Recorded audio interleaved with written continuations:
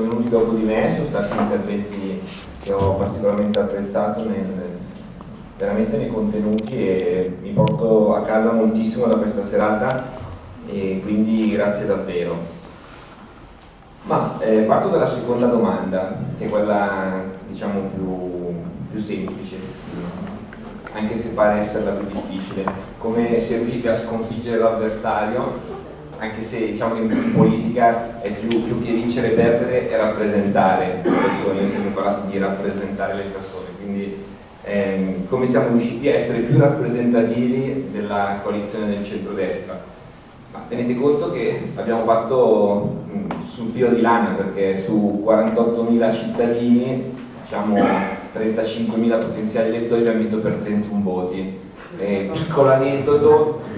ci eravamo anche sbagliati perché quando eravamo in sede elettorale abbiamo stappato il prosecco e a un certo punto ci siamo accorti che un dato da una sezione era arrivato invertito. E quindi pensavamo di aver vinto 360 voti e alla fine abbiamo scoperto che eh, si assottigliava il divario e si è fermato a 31 quindi un attimo di panico perché ci giravano già le foto del, del sindaco che potevano essere sindaco e stappato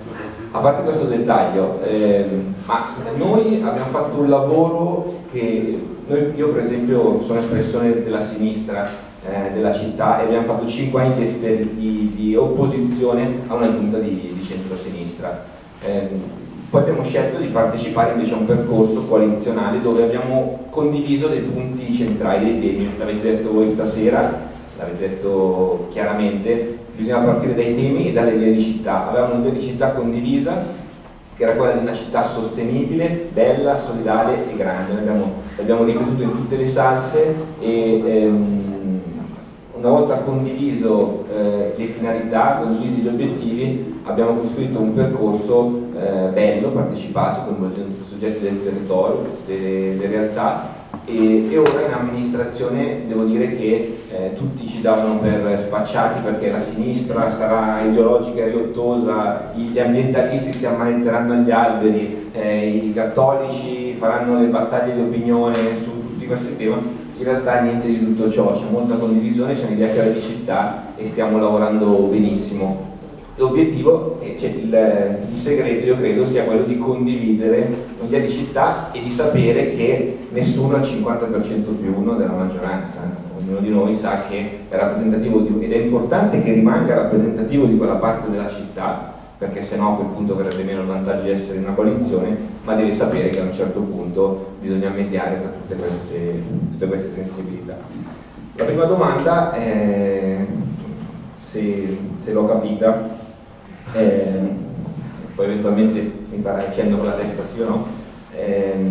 lo dividerei in due parti. Eh, come siamo riusciti a garantire una partecipazione da parte della città eh, nelle scelte per quanto riguarda l'area del welfare. Noi, fatto, noi veniamo da un'esperienza che è un po' particolare, è un piccolo dettaglio tecnico, però penso che sia facilmente comprensibile. Noi abbiamo lavorato negli ultimi anni in una, modalità che è la coprogettazione, dunque una, un rapporto molto stretto tra eh, l'area dei servizi sociali e il mondo del terzo settore che ha garantito la possibilità, intendo cooperative, associazioni, cittadini eh, singoli, che hanno eh, portato eh, un contributo importante in termini di lettura del bisogno e poi di corresponsabilità eh, nella risposta, fino a creare un'esperienza, un modello che è il modello di un'impresa sociale, dove il pubblico non è semplicemente il soggetto che dà l'orientamento politico, ma è anche all'interno dell'impresa sociale che è un mix tra mondo del terzo settore e, eh, e comune che permette ed è anche presente nell'erogazione del servizio, quindi non è semplicemente il pubblico che fa l'appalto e delega poi alla cooperativa, al terzo settore l'erogazione del servizio, ma rimane presente anche in tutte le fasi dell'offerta del servizio. Questo io penso che sia importante anche per eh, dire, bypassare quelle fragilità, quelle difficoltà di cui si parlava, per cui a volte il rischio è quello di incastrarsi negli uffici che eh, costruiscono un appalto e una volta costruito l'appalto, quando è finito e assegnato,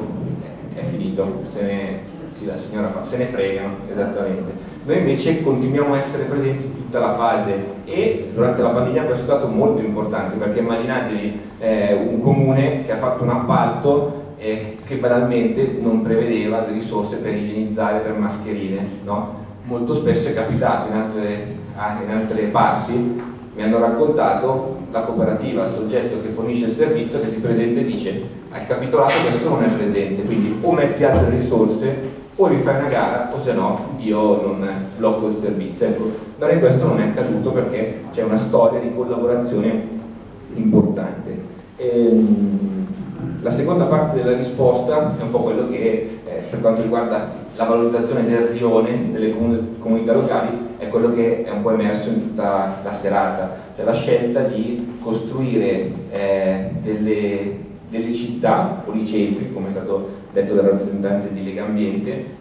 noi abbiamo appunto questa fortuna di rioni dove ci sia una dimensione che rende possibile riconoscersi in termini comunitari, lo accennavo brevemente nell'intervento iniziale, mh, la costruzione tra le tante cose che servono per eh, mantenere queste relazioni, questo approccio comunitario che sono i servizi, la scuola, il trasporto, un punto verde, eh, tutto quello che sappiamo che è necessario, la scelta di costruire queste case di quartiere che erano quei luoghi che mi pare che in qualche modo evocasse anche Don Giusto nel suo intervento, degli spazi, dei luoghi dove, che sono veramente strategici, dove le persone possono incontrarsi e eh, condividere eh, delle esperienze e dove il comune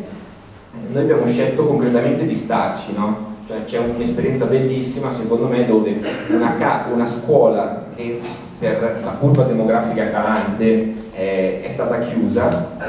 i cittadini si sono ingaggiati insieme al comune che ha messo delle risorse per garantire eh, di mantenerla aperta, però trasformandola in casa di quartiere, il luogo dove quel, quel rione rischiava di perdere un luogo di aggregazione fondamentale come la scuola. È stato trasformato in uno spazio aggregativo dove ci sono servizi per la disabilità, pasti per gli anziani, pasti condivisi per gli anziani, eh, momenti di ritrovo per i ragazzi del rione, eh, lezioni di italiano per stranieri e tutta un'officina di quartiere, tutta una serie di attività che eh, permettono in questo luogo, in questo spazio, di mantenere un cuore pulsante nel rione che eh, permette che le vite che molto spesso scorrono parallele si incrocino e da lì si genera valore. Una volta che tu hai creato, io credo che il comune ha creato il luogo, lo spazio e ha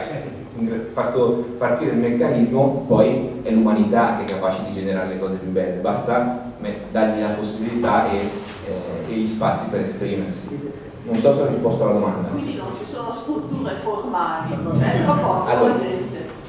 Eh, strutture formali, noi abbiamo,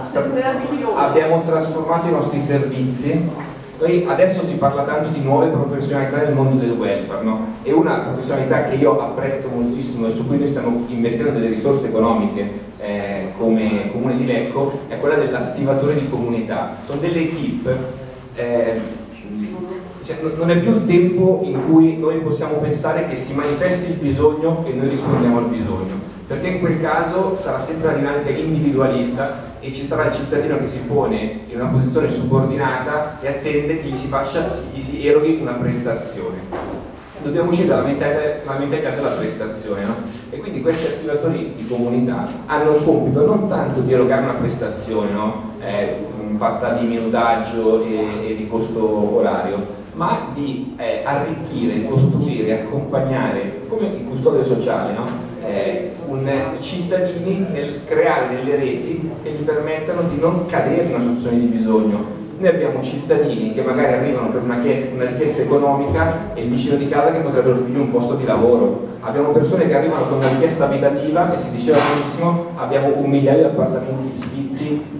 in città di Lecco come fai a permettere che eh, quelle case non, non, non, rimangano case sfitte ma case occupate?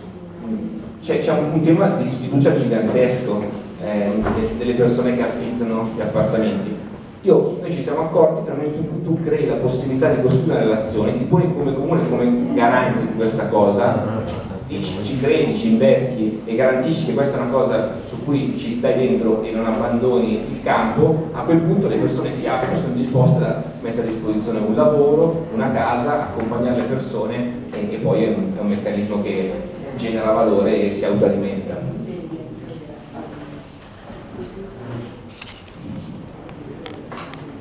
Grazie Emanuele, do,